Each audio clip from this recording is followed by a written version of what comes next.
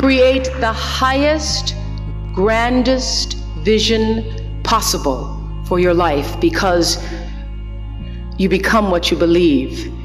Dig deep down and ask yourselves, who do you want to be? Figuring out for yourselves what makes you happy. No matter how crazy it may sound to the people. You keep pushing because you believe in yourself and in your vision.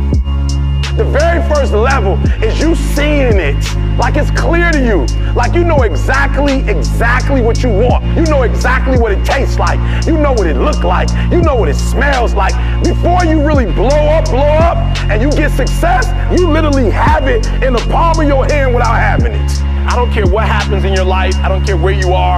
Every single day you wake up, if you're gonna have energy, if you're gonna have passion, if you're gonna have drive, every day you wake up, you gotta start with that vision. How many people have you met in your life who have said things like, I had that idea, or I was so close, but I gave up?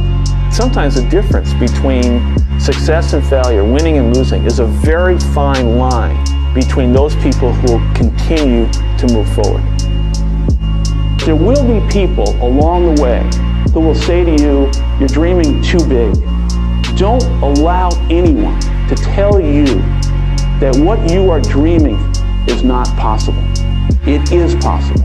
Don't be one of those people 20 years from now are going to be walking around in a 9 to 5 job, miserable and angry and bitter because you let your dreams get away from you because you did not believe strongly enough in yourself and what was possible.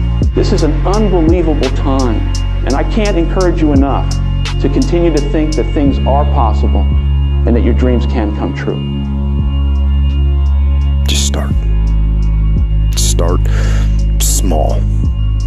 With changing tomorrow morning, just tomorrow morning. Get that squared away.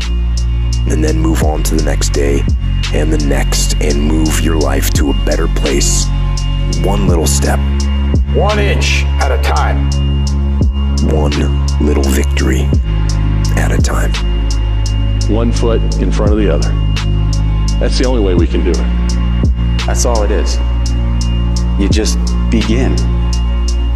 You do the math, you solve one problem, then you solve the next one. We must keep moving.